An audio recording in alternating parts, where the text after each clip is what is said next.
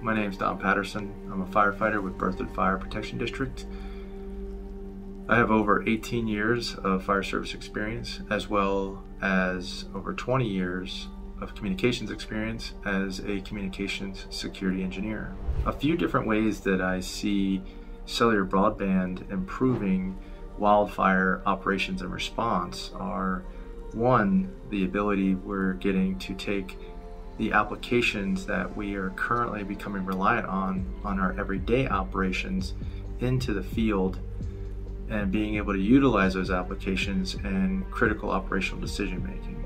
I would say number two is being able to help alleviate land mobile radio traffic.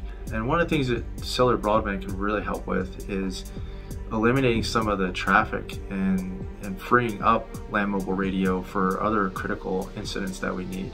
Being able to handle an incident within an incident and utilizing a cellular broadband network to alleviate some of that traffic, as well as being able to keep that stream of data in the background going uh, so we can keep up to date with an incident. Another thing that I see that is becoming very critical is the ability to utilize the footage that we're even getting from multi-mission aircraft and being able to get that footage that maybe happened 15 minutes ago uh, directly into the field and in the hands of the people that can make an operational decisions based on that footage and what they're seeing.